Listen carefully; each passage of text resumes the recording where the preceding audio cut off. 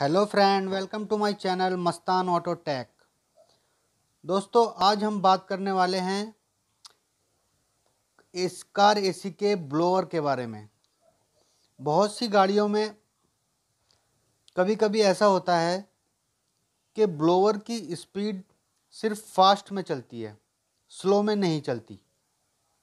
एक नंबर, दो नंबर, तीन नंबर पर हम चलाते हैं तो ब्लोअर नहीं चलता, फोर नंबर पर चलाते हैं तो ब्लोवर चल जाता है फास्ट स्पीड में।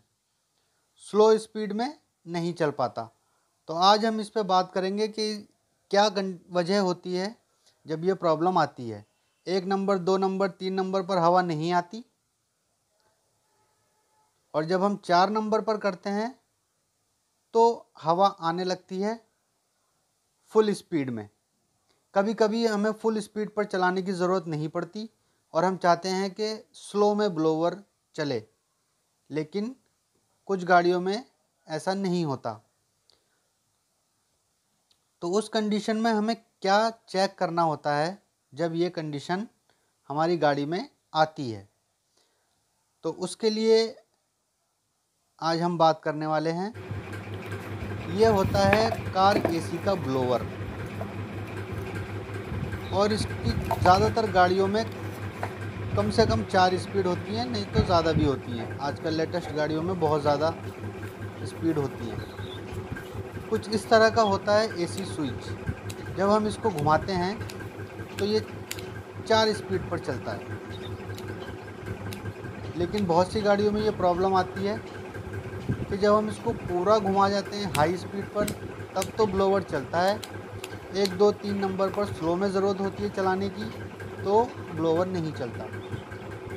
तो इसके लिए जो पार्ट ख़राब हो जाता है, वो होता है रेजिस्टेंस ये होता है कार एसी ब्लोवर की स्पीड को कंट्रोल करने वाला रेजिस्टेंस इसको बोलते हैं ब्लोवर रेजिस्टेंस इसकी लोकेशन ब्लोवर के आसपास ही होती है। डैशबोर्ड के अंदर जहाँ पर ब्लोवर लगा हुआ होता है एसी का, उसके पास, आसपास में ही इसकी फिटिंग होती है। अगर कभी हमारी गाड़ी में ऐसा कुछ होता है तो हम इसको चेक कर सकते हैं कि हमारा रजिस्टेंस ख़राब हो गया है या वायरिंग में प्रॉब्लम है। तो मल्टीमीटर को कर लेते हैं हम बी पॉइंट पर सेट और मल्टीमीटर से हम आसानी से चेक कर सकते हैं कि हमारे ब्लोवर रजिस्टेंस ख़राब है या हमारी गाड़ी में कुछ और प्रॉब्लम क्रिएट हो गई है। रेजिस्टेंस को चेक करने के लिए मल्टीमीटर को बी पॉइंट पर सेट कर लेना है। और मल्टीमीटर की एक पिन को रेजिस्टेंस की किसी भी एक पिन पर टच कर देना है। और दूसरी वायर से बाकी बची हुई तीनों पिनों पर लगाकर चेक करना होता है। अगर बाकी पिनों पर बीप का साउंड आता है तो हमारा रेजिस्टेंस ओके है। और अगर बाकी पिनों पर बीप का साउंड नहीं आता तो हमारा रेजिस्टेंस ख़राब हो चुका है। फिर हमें कुछ और चेक करना होता है। अगर सभी पिनों पर साउंड आती है तो फिर हमें गाड़ी की वायरिंग फ्यूज़ रिले बाकी चीज़ों को चेक करना होता है। या हमारी गाड़ी का स्विच भी ख़राब हो सकता है, जो ब्लोअर को घुमाता है। एक पिन पर हमने लगा लिया और बाकी पिनों पर हम टच करके देखेंगे तो ये बीप आती है। ये मेरे हाथ में नया रेजिस्टेंस है, इसलिए इसमें सभी पर बीप आएगी। अगर आपकी गाड़ी के रेजिस्टेंस में सभी पिनों पर बीप आती है तो आपकी ब्लोवर रेजिस्टेंस ओके है। इस पर भी बीप आ रही है। इस पर भी बीप आ रही है। इस पर भी बीप आ रही है। अगर किसी पिन पर बीप नहीं आएगी तो हमारा रेजिस्टेंस ख़राब है। किसी भी मल्टीमीटर से हम इसको बीप पॉइंट पर सेट करके चेक कर सकते हैं।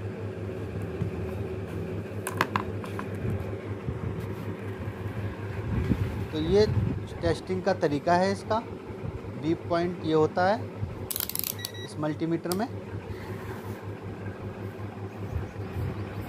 तो ब्लोवर में कभी कभी ये ब्लोवर का स्विच है। कुछ गाड़ियों में ये प्रॉब्लम आती है कि स्लो में तो ब्लोवर ऑन होता है, लेकिन फास्ट में ऑन नहीं होता।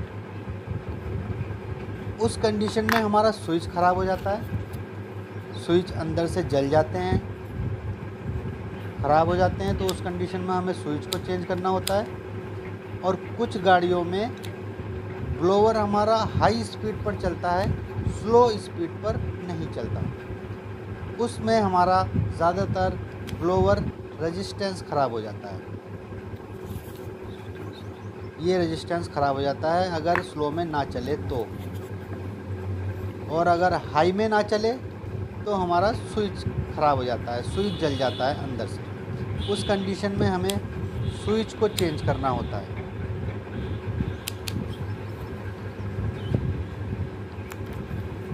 तो दोस्तों, ये थी कार एसी के ब्लोवर को स्पीड को क्या चीज़ कंट्रोल करती है, उस बारे में छोटी सी इन्फॉर्मेशन उम्मीद है आपको अच्छी लगी होगी।